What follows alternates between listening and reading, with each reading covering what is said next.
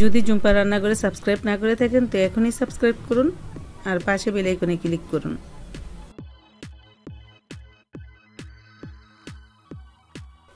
আসসালামু আলাইকুম আকুরি আপনারা সবাই ভালো আছেন। তো চলে আসলাম নতুন একটা ব্লগ নিয়ে, আর আজকে ব্লগে থাকছে দুপুরের রান্না। তো এই যে আমার বাজার চলে আসছে, আর বাজার থেকে মুরগি নিয়ে আসলো। আমার ছেলে, তো মুরগিটা আমি একটু সেক নিচ্ছি। বাজার থেকে ড্রেসিং করে নিয়ে আসছিল, তো মুরগি কেটে নিলাম আর এখানে নিলাম লোনা শুটকি। তো লতি নিয়ে আসছে, তো লতি দিয়ে লোনা শুটকি দিয়ে রান্না করব। আর এই লোনা শুটকি দিয়ে লতি রান্না করলে কিন্তু খেতে হেভি মজা লাগে, কি বলব?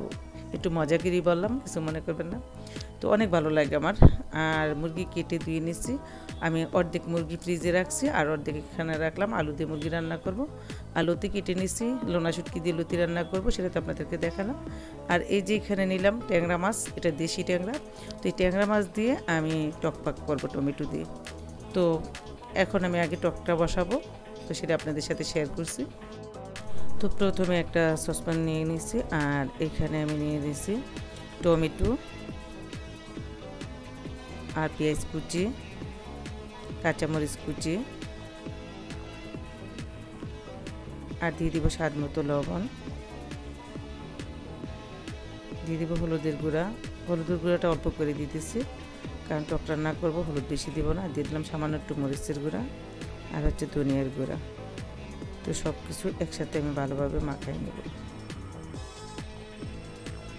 তো ধনিয়ার গুঁড়া এটা দুই প্রকারের ছিল। একটা হাতে করা ছিল, একটা মেশিনে করা ছিল। দুইটাতে অল্প অল্প করে দিচ্ছি আপনার হয়তো বলতে পারেন যে এটা কী মশলা দিল। তো আর দিয়ে দিলাম সামান্য একটু রান্নার তেল দিয়ে ভালোভাবে আমি মাখাই নিলাম। তো এখন দিয়ে দিব রসুন বাটা, হাফ চা চামচ আর পেঁয়াজ বাটা, এক চা চামচ দিয়ে ভালোভাবে মাখাই নিতেছি। রসুন বাটাটা দিলে টকের ভিতরে সুন্দর একটা ফ্লেভার আসে, ভালো লাগে খেতে। তো এখন দিয়ে দিব মাছ। তো মাছ সবকটা দিব না, কিছুটা রাখব। আর এই যে এখানে অর্ধেকের বেশি মাছ দিয়ে দিলাম। তো ভালোভাবে মাছ মশলার সাথে মাখাই নিতেছি। তো এইভাবে হাতে মাখায় রান্না করলে খেতে অনেক অনেক ভালো লাগে। তো আর একটু তেল দিয়ে দিলাম। তেলটা আমার মনে হচ্ছে একদম কম হয়ে গেছে। তো মাখানো হয়ে গেছে। এখন দেখতে পাচ্ছেন কত সুন্দর হয়েছে। মাছের ভিতরে ভিতরে মশলা ভালোভাবে ঢুকবে এবারে তো এখন চুলায় চলে গেলাম। আর চুলায় বসাই দিলাম। তো ফিরে আসব দু মিনিট পর। এটা জাল হতে থাক। তো ফিরে আসলাম দু মিনিট পর। এখন দিয়ে দিব পানি। একটু বেশি করে জলের পানি দিয়ে দিব, যেহেতু টক রান্না করব। তো এই টমেটোর টকটাই থাকবে, এখানে কোনো আর জলপাই বা চালতা কোনো টকই দিব না। কারণ আমার বড় ছেলে এই রান্নাটা অনেক পছন্দ করে। তো ওই টমেটোর টকটাই খেতে পছন্দ করে। আর জলপাই, তেঁতুল বা চালতা এইগুলা দিলে খেতে চায় না। তো তার জন্য এইভাবেই পছন্দ করে ওর জন্যই রান্না করতেছি। আর এই জল জল তরকারিটা খেতে অনেক পছন্দ করে। তো ঢাকনা দিয়ে রেখে দিলাম জলের পানি দিয়ে। আবারও ফিরে আসলাম দু মিনিট পর। তো আমি ঢাকনাটা উঠে নিলাম আর একটু নেড়ে দিব। সেটা রান্না করতে বেশি সময় লাগবে না, যেহেতু আমি সব কিছু মাখাই চোখাই দিয়েছি। আর টমেটোটা হাতে মাখানোর ভিতরে একদম নরম হয়ে গেছে। আর পাকা টমেটোগুলো ছিল, টক টমেটো। তো আরও পাঁচ মিনিট এটা জাল করব আমি। তো আবারও ফিরে আসলাম, আবারও পাঁচ মিনিট পর। তো এখন আবার একটু নেড়ে দিব। আর রান্নাটা মোটামুটি হয়ে গেছে। আর দেখতেই পাচ্ছেন মাছগুলো সিদ্ধ হয়ে গেছে। আর যেহেতু টক, এটা একটু জল জলই রাখব। তো এখন দিয়ে দিব ধনিয়া পাতা।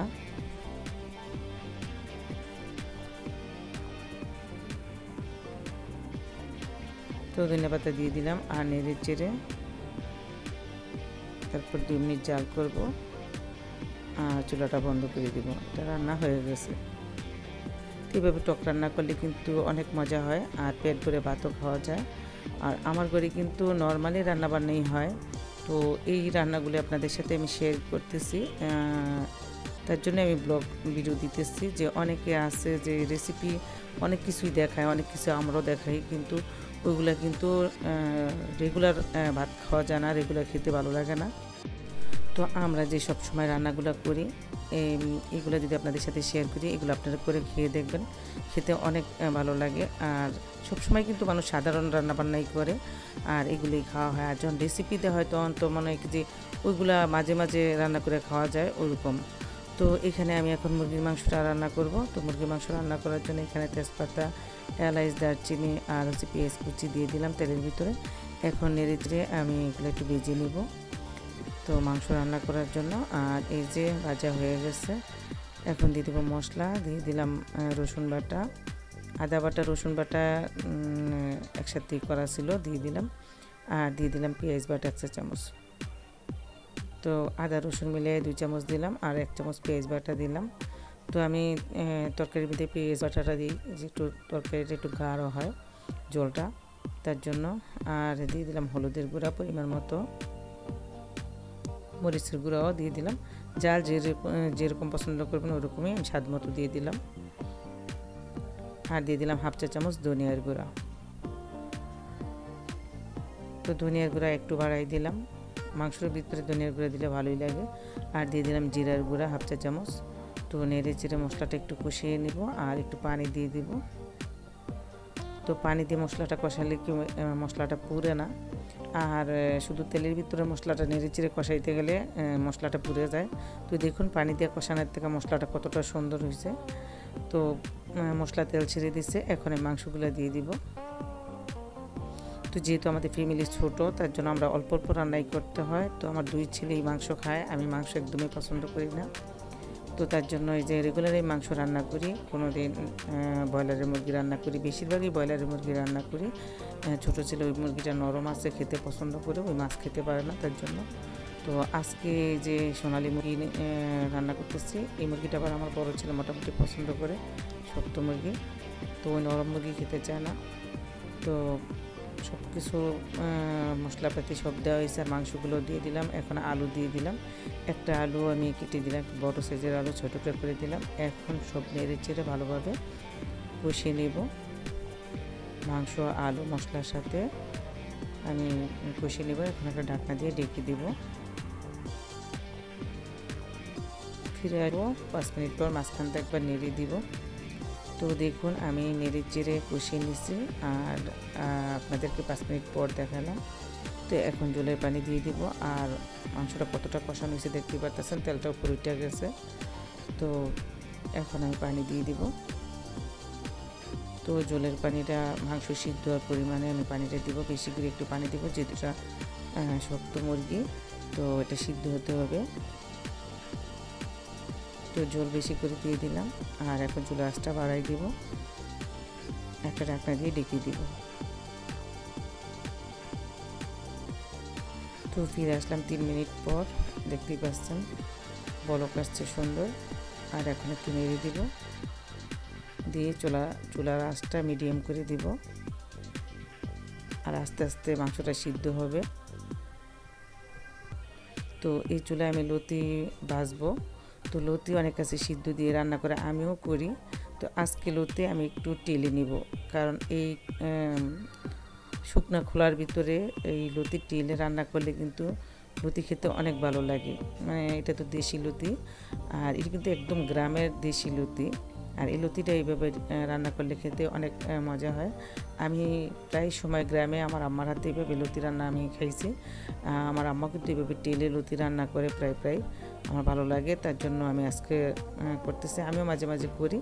তো এই যে ডাকনা দিয়ে ডেকে দিয়েছিলাম, আর মাঝে মাঝে একটু নেড়ে দিছি তো দেখতেই পাচ্ছেন লতিগুলো বাজা হয়ে গেছে। তো এইভাবে বাজলে অনেক সময় আছে লতি কিন্তু চুলকায়, ওই চুলকানিটা হয় না। অনেকে আছে লতি খেতে পারে না, গলা চুলকায় তবু আমার গলা চুলকায় না, কিন্তু এভাবে একটু ভেজে নিলে লতিটা রান্না করলে খেতে অনেক ভালো হয়। তো লতি ভেজে নিচ্ছে আর এখানে লতি রান্না করার জন্য আমি তেল দিয়ে দিচ্ছি আর একটা তেজপাতা দুই ভাগ করে দিয়ে দিলাম, দুইটা শুকনো মরিচ ভাগ করে দিয়ে দিলাম আর কিছু পেঁয়াজ কুচি দিয়ে দিলাম। তো এখন নেড়ে চেড়ে এগুলো একটু ভেজে নিব। লতি রান্না করব এই কড়াইয়ের ভিতরে। তো মাংসটা ওই চুলায় আমি চুলাসটা কমাই দিছি আর মাঝে মাঝে একটু নেড়ে দিতেছি। মাংসটা ওদিকে রান্না হয়ে যেতেছে আর এদিকে দিয়ে দিলাম আমি পেঁয়াজ বাটা। তো দুই চামচ পেঁয়াজ বাটা দিয়ে দিলাম।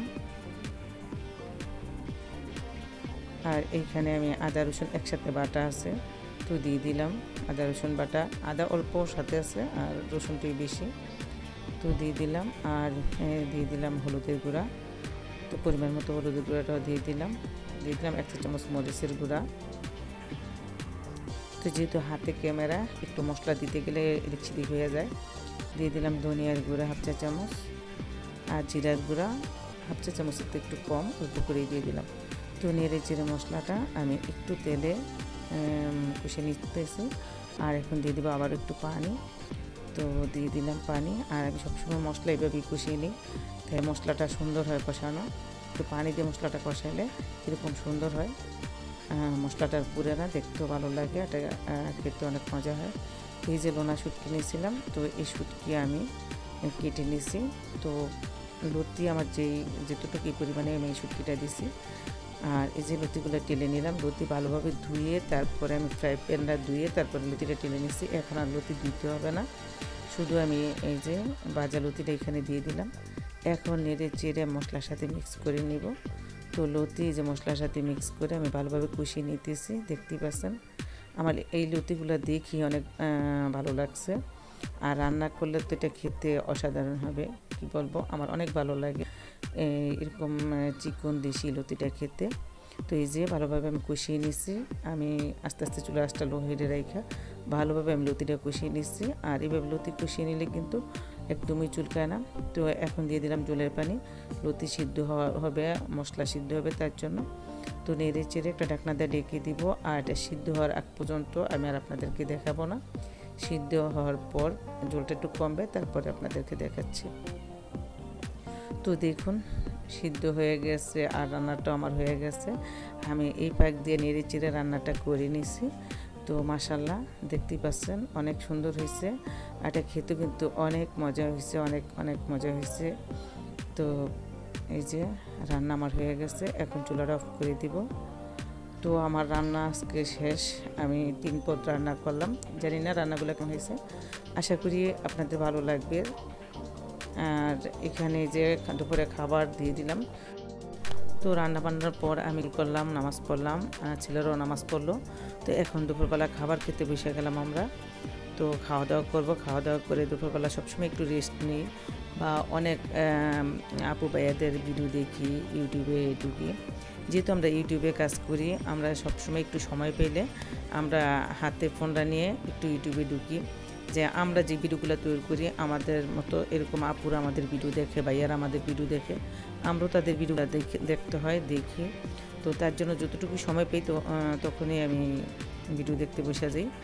তো এটা হচ্ছে বিকেলবেলা, এখন নাস্তা তৈরি করব।